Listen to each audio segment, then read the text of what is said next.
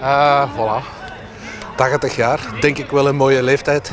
Dus uh, fijn dat er zoveel volk is uh, om dat te komen vieren. Wat betekenen de Eldorado-fietsers in dit verhaal?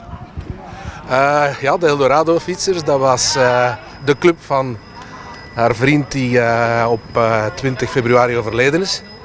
Elie de Smet, ook genoemd, genaamd de Pros. En voilà, vandaar dat al die vrienden hier zijn.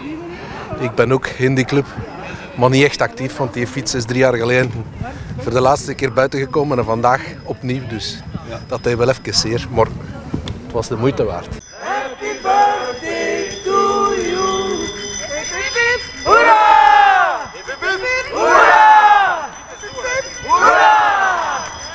Wat betekende pros voor de Eldorado-fietsers eigenlijk?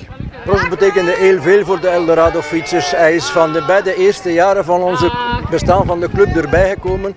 En uh, hij is er altijd bij gebleven. Hij was een zeer trouw lid. Altijd uh, ook iemand die in de weder was om uh, de goede sfeer erin te houden. Die ook veel nieuwe leden bijgebracht heeft. Want al zijn vrienden van Inove die zijn erbij gekomen. En die zijn erbij gebleven ook bij de club. Hoe kennen jullie Leen Maus eigenlijk? Goh, wij kennen elkaar al zeker oh, 40, 50 jaar. Uh, van in de tijd in het vrouwenhuis en in uh, het vluchthuis. Uh, altijd samen op stap geweest ook. Ook met haar, ja, haar overleden pros. Ja, spijtig genoeg. en we zijn wel altijd bij, blijven elkaar zien. zowel in de loop van het jaar als ook op, op de eindejaarsfeesten en zo. Uh, er mag niet meer in groep gereden worden door de coronamaatregelen. Um, hoe brengt een Eldorado-fietser zijn zondag door nu?